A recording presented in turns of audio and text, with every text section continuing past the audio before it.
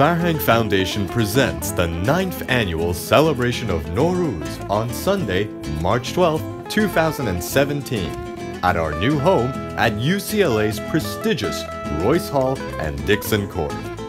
Join us for a full day of exciting activities, including our fourth annual Iranian costume parade for adults and children, traditional dance and musical performances, arts and crafts, children's programs, an Iranian tea house, and a traditional Nowruz display known as Haft-Seen.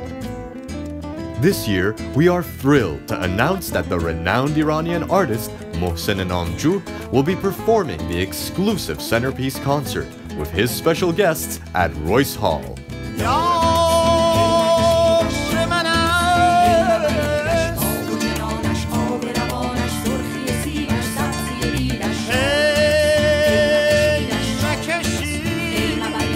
For tickets and more info, please visit farhang.org.